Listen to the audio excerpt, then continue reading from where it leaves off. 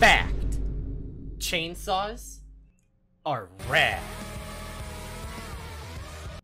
Fact! The saw is the only weapon in Payday 2 equipable in both the primary and secondary slots. Therefore, by using science, we can deduce that double saws is the coolest loadout in the game. I have mastered the art of this saw over the course of about a year.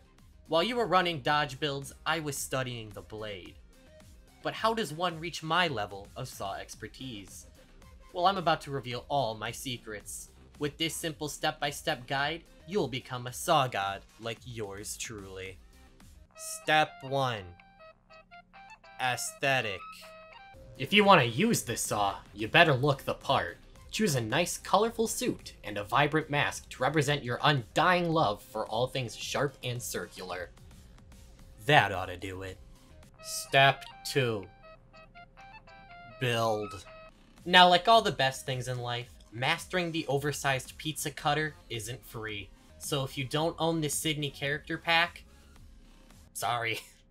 As for the skills under the Mastermind tree, we are going to be getting absolutely nothing. No Inspire or med bags. A small price to pay for salvation. You're insane.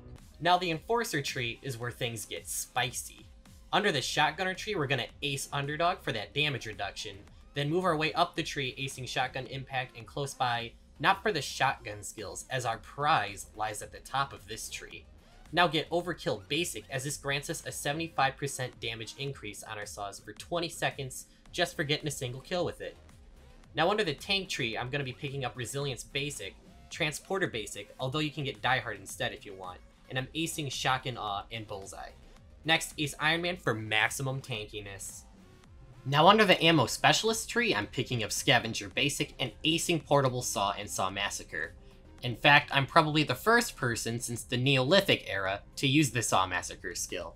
I'm also acing Extra Lead because by bringing ammo bags, we'll at least be doing one thing that benefits the team. And finally, I'm getting fully loaded basic for some more that juicy ammo. We'll also be skipping the Technician tree, and the only skills we need from the Ghost tree are ducking cover and parkour basic. Now for the Fugitive tree. We'll be acing 9 lives and getting basic Brawler, acing both Bloodthirst and Pumping Iron, getting basic Berserker for that juicy up to 250 saw damage boost, and finally acing Frenzy for the damage reduction and bonus to Berserk. Now you'll want to use Anarchist for your perk deck. I've tried others in my research, but Anarchist is the only one that works. Step 3. Make the saw. A saw main is only as good as their saw, so I'll show you how to make the most optimized saw there is. The first step is adding a snazzy skin to intimidate your enemies into death. Please note that skins do not in fact intimidate your enemy to death and are merely cosmetic. Any incidents caused by the saw with the skin are merely coincidental. Then we'll add a team boost because this is going to be our second useful contribution to our team. Then the fast motor for extra damage and the durable blade. Now the what, you may be saying? If the point of the double saw is to saw your enemies to death, then why aren't you using the sharp blade that does more damage to enemies? Now thank you annoying strawman archetype, but quite frankly, you're a stupid head. The sharp blade runs out just too quickly, and leaves you an empty soulless husk of your former self. Now for your melee weapon, you're gonna want to choose something that really packs a punch. Now what's that before my very eyes? Could it be? Triple, Triple sauce. Oh, and use the throwing knives. I'll elaborate in like two minutes. Step 4. Killing.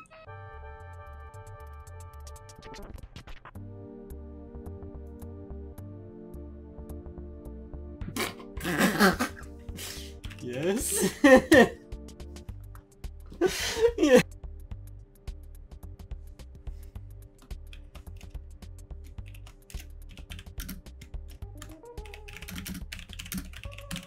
no, it's a good build. I swear.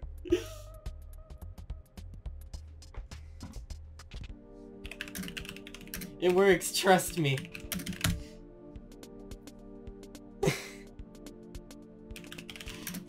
Trust bro.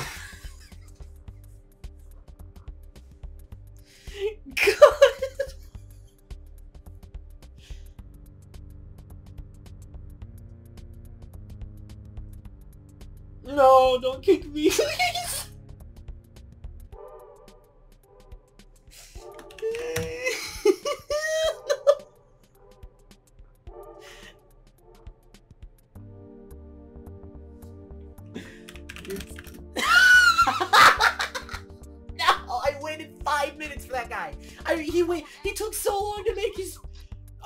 Alright, now that you finally made it into a lobby without getting kicked and you're in a game, it's time to put that saw to good work. Now the saws have a very unique playstyle that many of you may not be used to, so allow me to explain how to use the saw against enemies effectively. Walk up and saw them in the face. Medics. Walk up and saw them in the face. Tasers. Walk up and saw them in the face. Cloaker. Walk up and saw them in the face. Dozer. Walk up and saw them in the snipers. Cry. Cry. cry. Okay, I'm done memeing. Now, it's time to discuss the details. The first step to using the saw is to tap fire. That probably seems counterintuitive considering you're wielding a chainsaw, but this thing runs out of ammo way too quickly to go all out. With maximum berserk and the saw skills we got before, it takes on average one tap to kill a light cop on Death Wish and below, and two taps for heavy units on Death Wish below. The only enemy you really want to go all out on is dozers.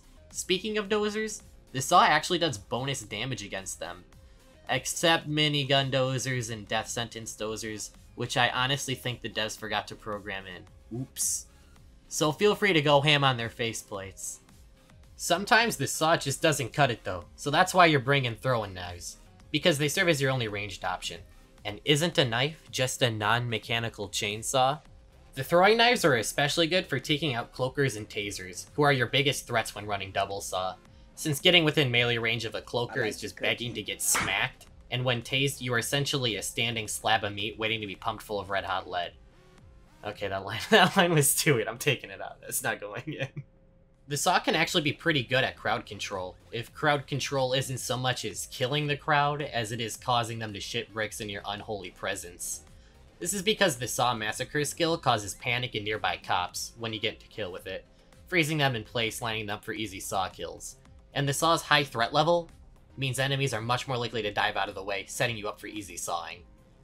If you ever get caught with your pants down, you can use your third secret saw to take out your enemies, because it already deals a healthy amount of damage and multiplies every time you get a kill with the saw. Another thing of note is that enemies aren't the only things this saw does bonus damage against. All the damage multipliers also applies to deposit boxes, doors, ATMs, and whatever else the saw works on. This means double saw is the ultimate door opening meta. Step 5. Regret. Now that you've spent some time getting used to the double saw, you've probably gotten to know how much it kinda sucks.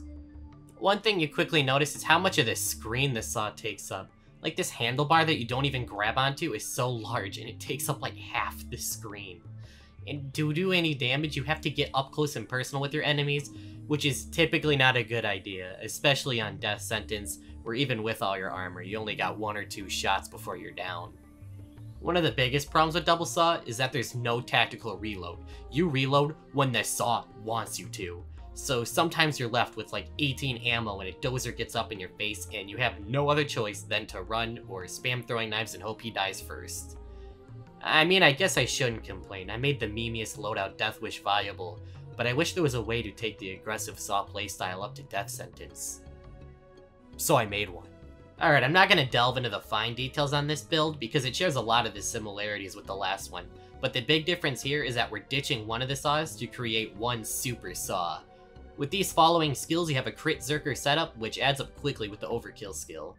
Let's see here, uh, 27.5 times 250% plus 75% plus 100% is...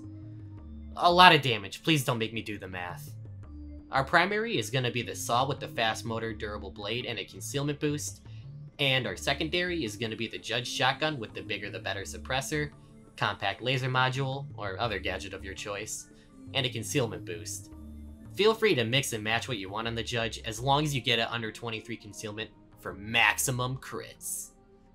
And while this build isn't quite the double saw, the Judge provides you with a powerful range tool that gives you the edge you need to survive on one down. Especially when it comes to dozers, which I briefly mentioned this saw is pretty incapable of killing on death sentence. With crits, this saw becomes a pretty reliable killing machine, especially on shields, which you make a total joke of. And the saw is still providing that utility while having another weapon to fall back on. Overall, it's a pretty darn solid build, and I'm not lying when I say it's incredibly fun to use. It's actually my go-to for death sentence now. Try it, now! Boy, that sure was stupid.